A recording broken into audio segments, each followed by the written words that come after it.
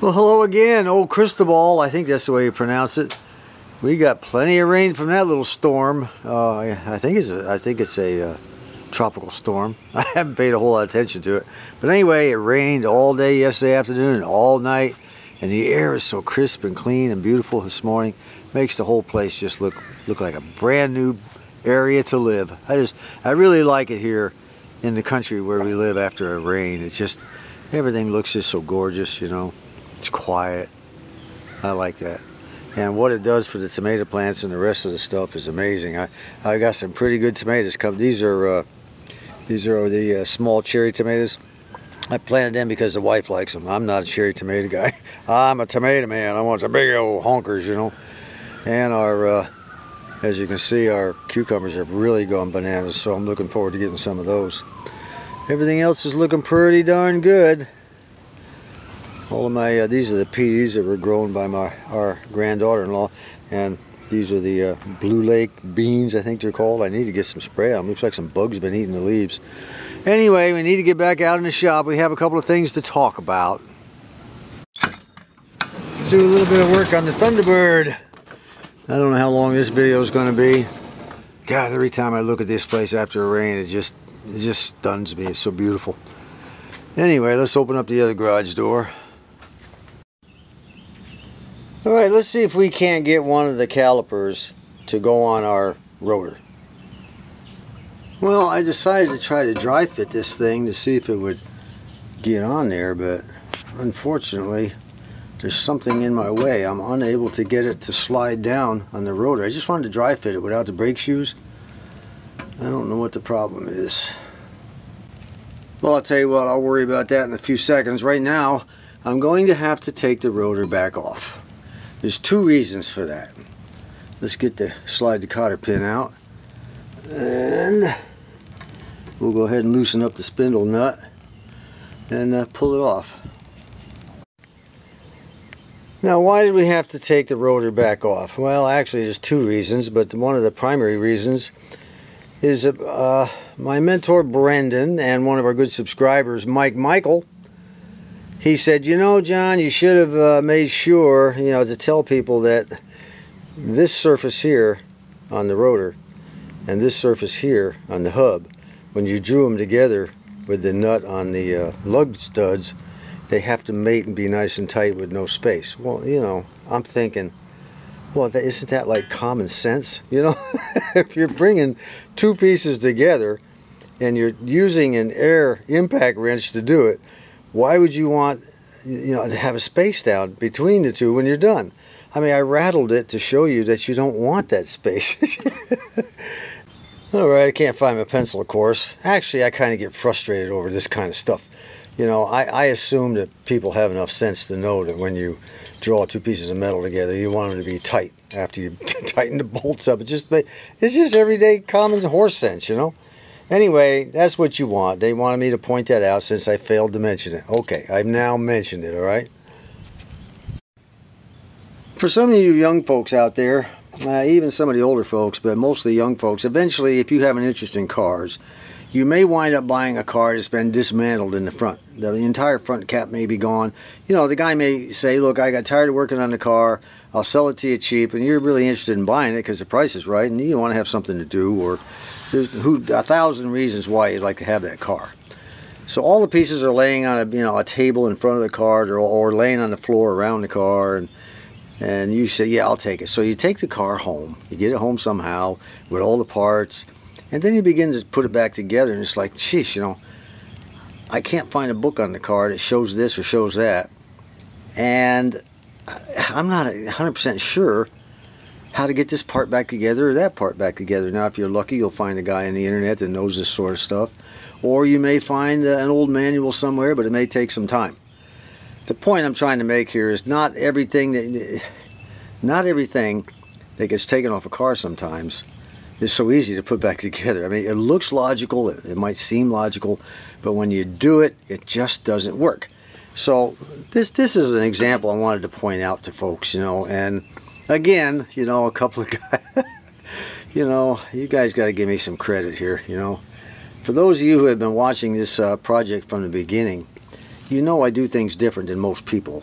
uh, when it comes to showing things. I, I, I don't, you know, I may do something in one video and then come back in the next video or two videos later and say, nobody said anything about this. Why didn't you all mention this, you know? So, anyway, a couple of guys came back with a criticism uh, on our last video said, you know, you got this splash shield on wrong. Well, I know that. You know, I'm the guy that took it off. So why is it on wrong? I wanted this is very important for you to understand. It would seem logical that the you know the bottom part down here would be on the bottom and the rest would be on the top. Doesn't that seem logical? Of course it does. But that's wrong. And I'll tell you why. The reason I could not put the caliper on the rotor here was because it was hitting this plate. Now these are the kinds of things you have to reason out sometimes as a mechanic. A lot of folks would say, geez, I just don't know what's going on. I can't figure it out. You got Sometimes you, you got to reason things out.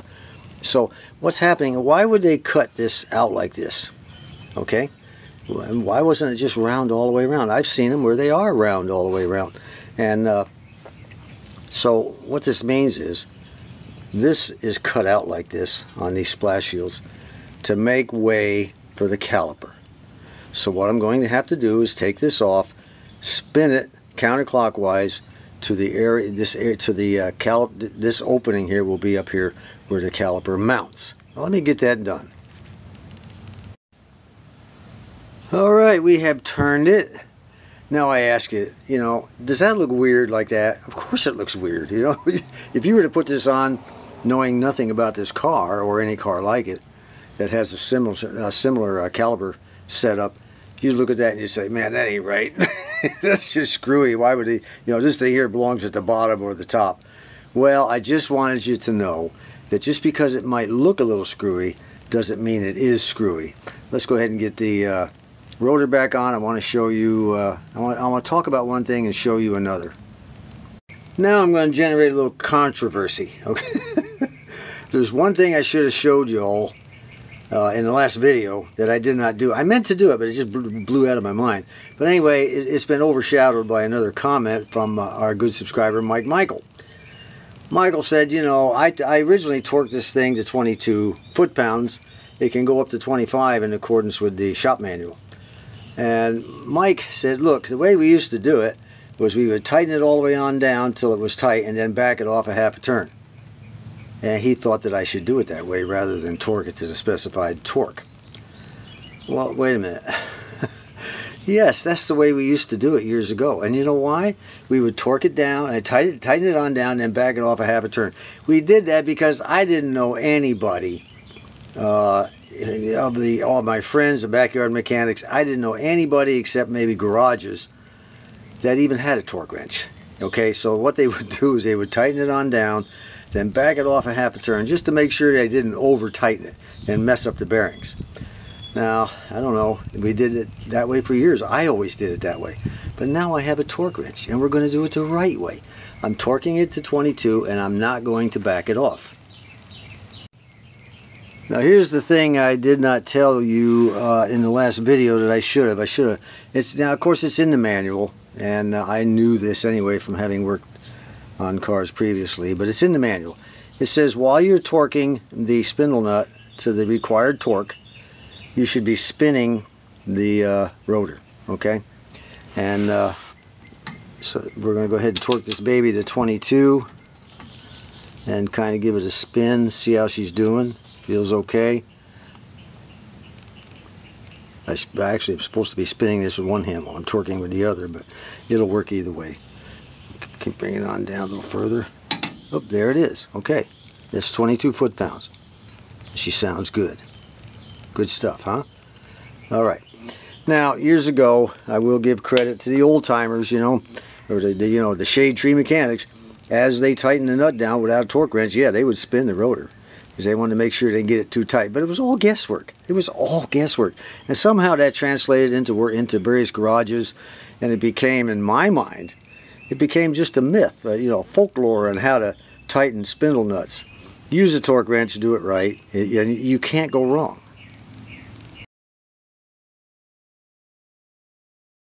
Nicholas writes, attached are a couple of pics of my 66 Thunderbird. I bought it a couple of months back, and as far as I know, the car is mostly original and unrestored with 74,000 original miles on the engine. The previous owner had gotten sick and the car sat in a field for quite some time, I believe around 10 years or so. It needed quite a bit of work and still does, but overall it's an excellent car and I hope to someday get it to show quality. I bought the car for three reasons. Number one being the color. I love the turquoise paint and turquoise interior. Secondly, I've always loved old cars and wanted to learn how to work on them. The third reason was that my grandfather always wanted to buy a 66 Thunderbird and restore it like he had restored his 1935 Chevrolet Master Deluxe, which I'm coming into possession of next week. My grandfather passed away in the late 1980s and never got to buy a 66 Thunderbird. Now, 30 years later, his grandson is fulfilling his dream car, and my mom and grandma couldn't be happier. The 1935 Chevrolet has been sitting in a barn in upstate New York, where my grandma lives. It's been sitting for over 25 years. I'll also bring back to life what my grandpa once did 30 years ago.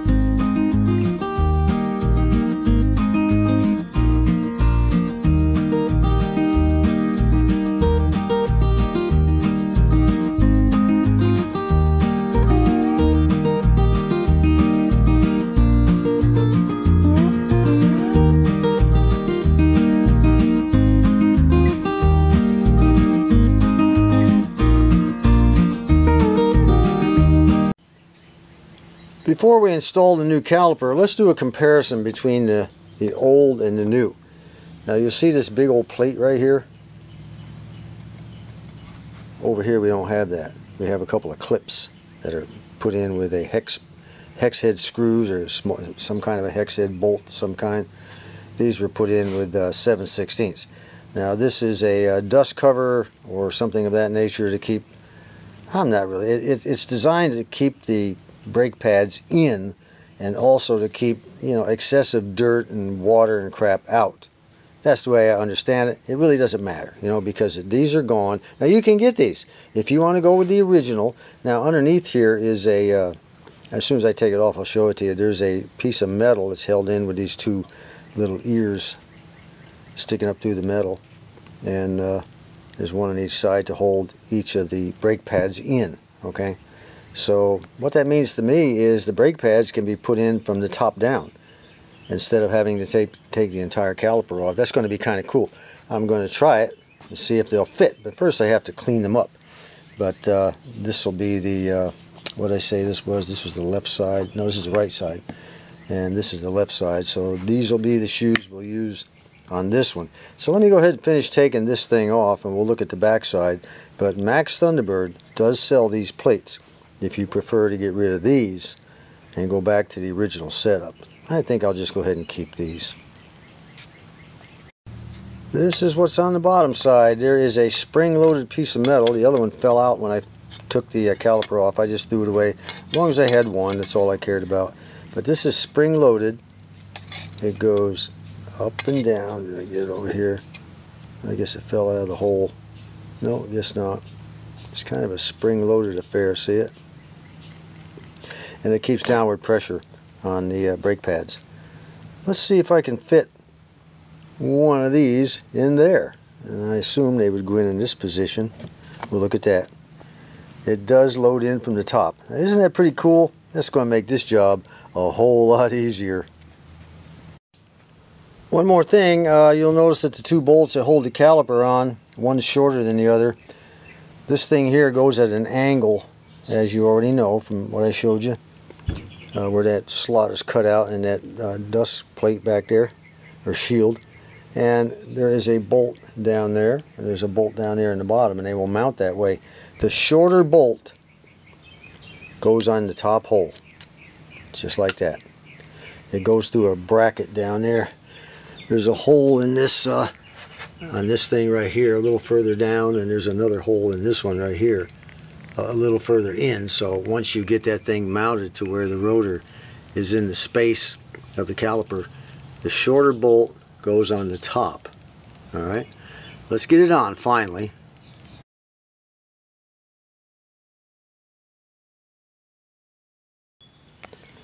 Well, you know, old man Murphy had to show up sooner or later, again. And it's not a malfunction this time, but there is a problem. I can't get the bolt holes to line up with the, uh, where the bolt's supposed to fasten to them. You know, it goes through that black thing on the car and then screws into this right here, see? And uh, these are the right size bolts, everything's fine. So I dug out the, uh, the old caliper and I did a you know a minute uh, comparison. They're identical. I don't see any problem at all. I don't know what the problem is. It's killing me trying to get that thing up in there and trying to get that caliper, those two caliper bolts to go through. One here and one here. They're just a little bit off for some reason. I got to figure out what's going on here. But I'm kind of tired right now, so it's coffee time.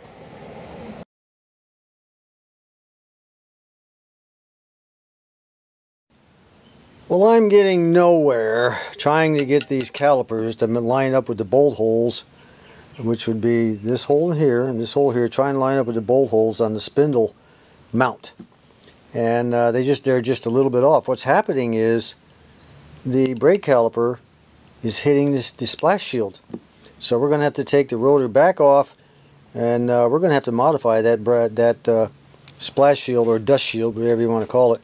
I remember, it seems to me I remember when, we, when I first started digging into the car, the splash shield had been bent up pretty bad.